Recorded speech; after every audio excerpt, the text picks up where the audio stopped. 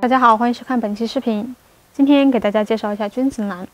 我们养君子兰的时候啊，如果出现君子兰的叶片啊比较少，就是长势比较慢，而且呢，整株君子兰呢看起来比较瘦弱的情况，那么这个时候我们就需要从两个方面来下功夫。第一个方面呢，就是它的土壤。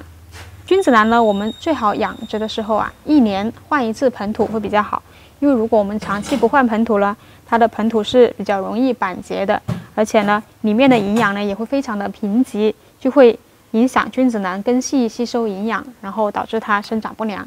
所以我们最好一年给它换一次盆土，而选择的盆土的话呢，一定要足够疏松透气、肥沃，才更适合君子兰的生长。第二点就是肥力，肥力就是要给它补充足够的营养。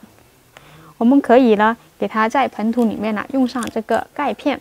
钙片呢可以预防盆土板结，而且呢可以促进它根系吸收的能力，可以让根系呢生长得更加健壮。直接将一粒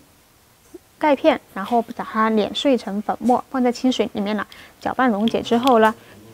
浇灌给君子兰的盆土就可以了。第二个就是我们要给它补充足够的氮肥，氮肥我们就可以直接使用黄豆水，将黄豆呢煮熟，然后。将煮黄豆的水和黄豆一起放在塑料瓶里面，密封发酵，大概两到三个月左右就腐熟好了。使用的时候呢，一定要兑水稀释三十倍到五十倍之后再浇灌给君子兰。那么君子兰吸收了足够的营养之后呢，它就会长势非常的健壮，长出非常多的新叶出来，长势非常的旺盛。好了，今天呢就给大家介绍到这里，我们下期再见。